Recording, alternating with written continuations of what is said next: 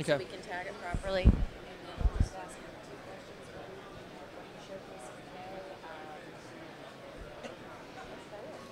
You wanted to just, I mean, anything else you talk about? If you, you can just ask me one question, I'll kind of go.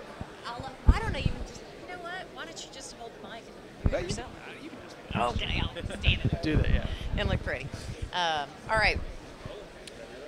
David West with Equinox Information Systems. Hi, I'm Lindsay with RCR Wireless News. I'm here with David West at Equinox Systems. Thanks for joining me. Yeah, my pleasure. So tell me what you're showcasing today. Well, our real focus this fall is the newest iteration of our Telelink application, which is our usage analytics and um, reporting application. So we started about a year and a half ago with an upgrade for the application based on a request from a customer that had very, very large volumes of data, quarter billion call records a day.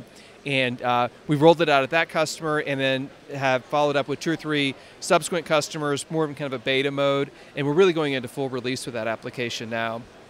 And the key uh, enhancements to the application are in terms of uh, scalability that we can process. You know, we've got customers that are doing a couple of hundred usage records, a couple hundred thousand usage records a day, all the way up to several hundred million usage records a day.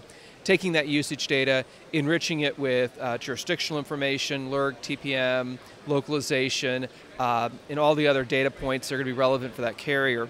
And each of our carriers use the data set to answer different questions. So we have some carriers who are using it for route management, for revenue assurance, for cost management, uh, invoice validation, uh, customer management, network management. It's really a unique application in that with all the data that's present there, it can be used and deployed in so many different functions uh, to serve the different needs of the carriers.